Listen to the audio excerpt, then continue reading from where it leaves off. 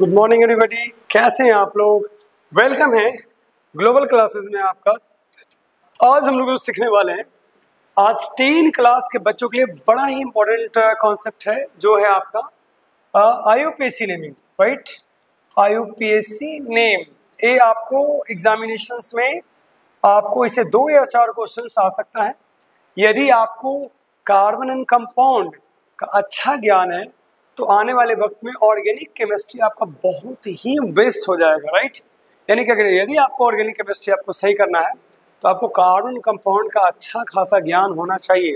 यानी उसी का सब टॉपिक है, जो हम लोग सीखने वाले हैं राइट तो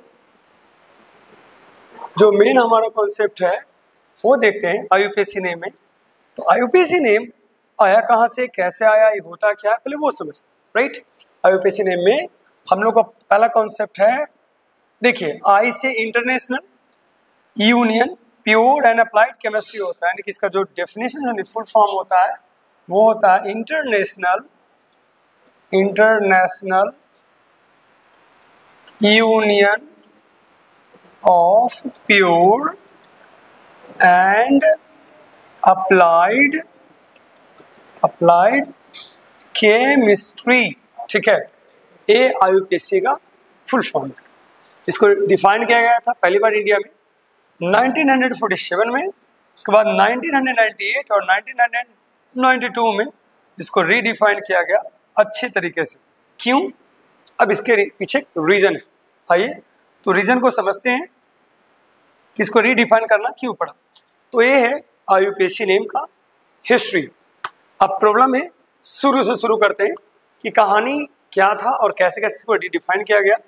तो कॉन्सेप्ट में यह आता है सबसे पहले कि हम लोग को सीखना है केमिस्ट्री के ब्रांचेस केमिस्ट्री का ब्रांचेस सीखना। केमिस्ट्री का जो मेजर ब्रांच होता है, वो अगर सिलेबस के अनुसार देखा जाए तो फ़िज़िकल है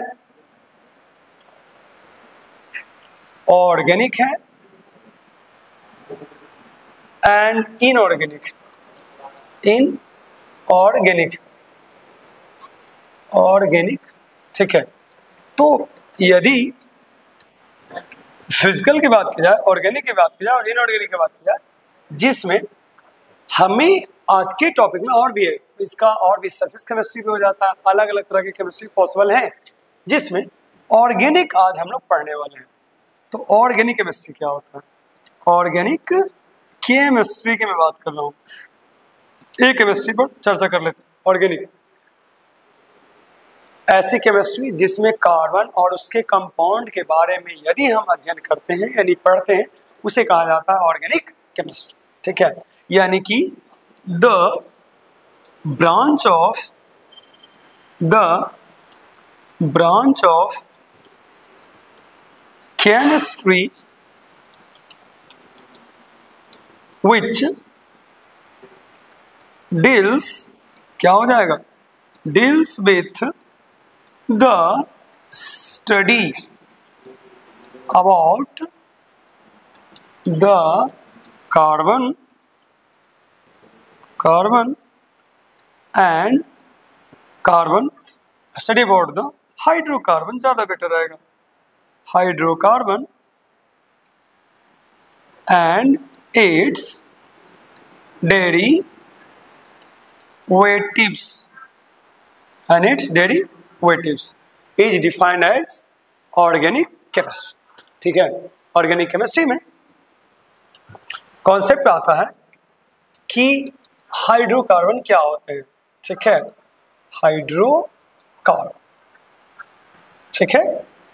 तो हाइड्रोकार्बन कहने का मतलब है जो कार्बन और हाइड्रोजन के सिंथेसाइज होने से बना हो, उसे हम लोग कहते हैं हाइड्रोकार्बन यानी कि a compound a compound which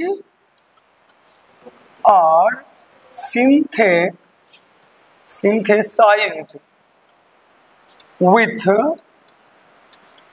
with the help of the help of carbon carbon and hydrogen. Hydrogen with with many atom many atom like nitrogen, oxygen, phosphorus etc यानी कि ऐसा कंपाउंड ऐसा कंपाउंड जो बनता है with the help of carbon and hydrogen with many atom like nitrogen oxygen phosphorus etc यानी कि सबको मिलने से हाइड्रोकार्बन का निर्माण होता है। सिर्फ़ अकेले नहीं कि सिर्फ़ कार्बन हाइड्रोजन को मिला दीजिए तो हाइड्रोकार्बन नो तो अब बात आती है कि हाइड्रोकार्बन के कितने कैटेगरीज हैं? तो हाइड्रोकार्बन के मुख्य कैटेगरीज की मैं बात कर लेता हूँ। Classification of classification of hydrocarbon की हाइड्रोकार्बन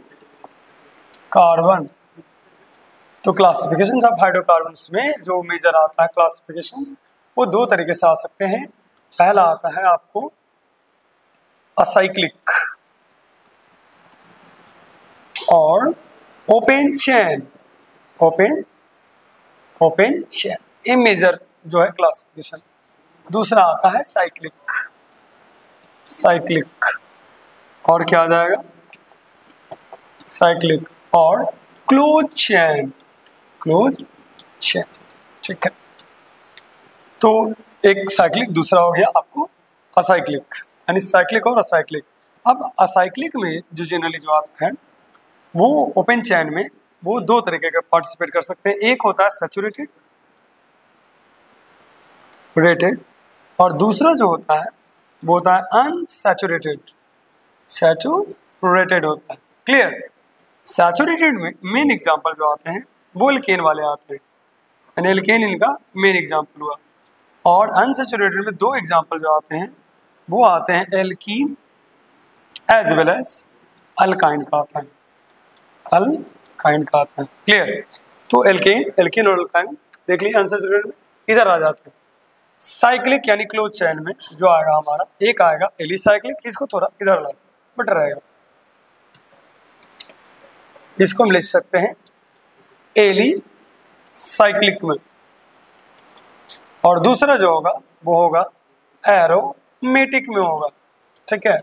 अब एलिसाइक्लिक के मेजर तीन पार्ट्स कहे जा सकते हैं। इसका भी सेचुरेटेड होगा।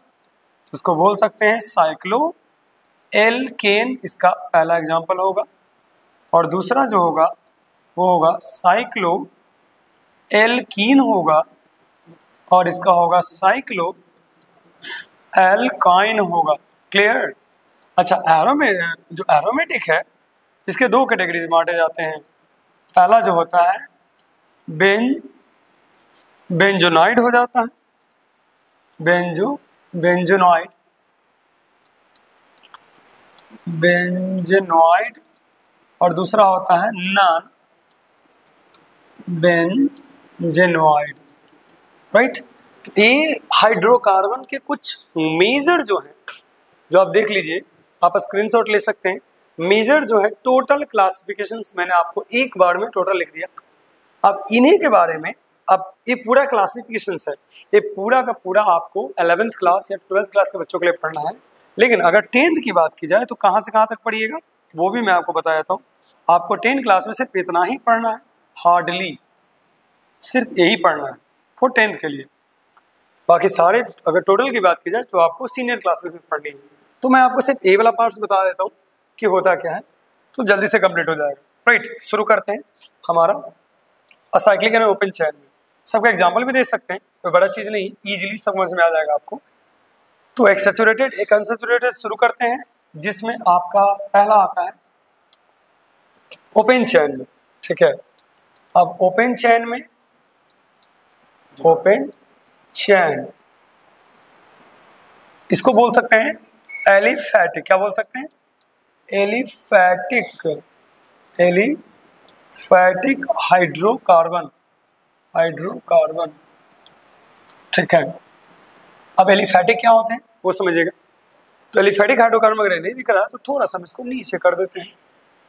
क्लियर दिख रहे लगेगा। ठीक है। Aliphatic hydrocarbon. अब एलिफैटिक में जरा थोड़ा सा कॉन्सेप्ट देख लेते हैं। देखिए एलिफेटिक में अगर हम बात की जाए तो हमारा मेन कॉन्सेप्ट आता है एल्केन का, यानी सेचुरेटेड ठीक है? तो सैचुरेटेड में भी आता है। अगर सैचुरेटेड की अगर बात कर रहे हैं आप तो इसमें आपको क्या आएगा? एल्केन वाला कॉन्सेप्ट आएगा। क्या बोला एल्केन वाला, ठीक है? अब एल्केन में क्या होता है? C N H two N plus two वाला आता है फॉर्मूला उससे पहले आपको सीखना पड़ेगा। कि इसमें सफिक्स क्या यूज़ होते हैं? C one C two C three C four C five C six C seven C eight जिसमें पहला होगा आपको मेथ दूसरा होगा एथ तीसरा होगा प्रोप चौथा होगा ब्यूट फिर हो जाएगा पेंट हेक्स हेप्ट ऑक्ट नौ का नॉन बोलेंगे। नॉन दस को डेक बोलेंगे। ठीक, ग्यारह को अनडेक अनडेक, बारह को डोडेक तेरह को ट्राइडेक टेट्राडेक मोड़ोवर्ड अब इसका फॉर्मूला भी अगर हम बनाए तो पहला बनेगा, वो देख लीजिए C one H two into one plus में टू तो क्या बनेगा? सी एच फोर तो इसमें जो लिया गया पहला है, चूँकि ये एल्केन है तो इसका तीन वर्ड लीजिएगा। चूँकि आप एक यूज़ किए तो मेथ यूज़ कर लीजिए। तो हो जाएगा meth plus A N E तो क्या बन जाएगा? मेथ एन बन जाएगा। यही कैरी फॉरवर्ड में चलेगा। अगर दो यूज़ करेंगे तो यहाँ रखाएगा दो। टू इंटू टू होगा प्लस में टू होगा सी टू दो दो चार दो छः तो हो जाएगा आपको एथेन हो जाएगा क्या हो जाएगा? एथेन। फिर प्रोपेन, ब्यूटेन, ये आगे की ओर मूव करता चला जाएगा, ठीक है? तो एक फ़र्स्ट जो है स्टार्टिंग सीरीज़ का पहला वीडियो मैंने शूट कर दिया आपको लिए, ठीक है? अब यहाँ से गौर से सुनिए। आपको एग्जामिनेशन के बेस के अनुसार स्टार्टिंग से एक एक चैप्टर का पूरा रिव्यू मैं इस चैनल पर लाने वाला हूँ, ठीक है? यानी कि पहले आपको केमिस्ट्री केमिस्ट्री प्लस में आपको दूसरा में फिजिक्स ठीक है? और मैथमेटिक्स राइट तो इसके जो कॉन्सेप्ट हैं, वो आपको दिए जाएँगे। यदि आप एग्जामिनेशन के प्रिपेयर प्रिपरेशन कर रहे हैं तो आपके लिए बेटर है कि आप स्टार्टिंग से हर वो चैप्टर का वीडियो आपको प्रोवाइड कर दी जाएगी। Right thanks a lot.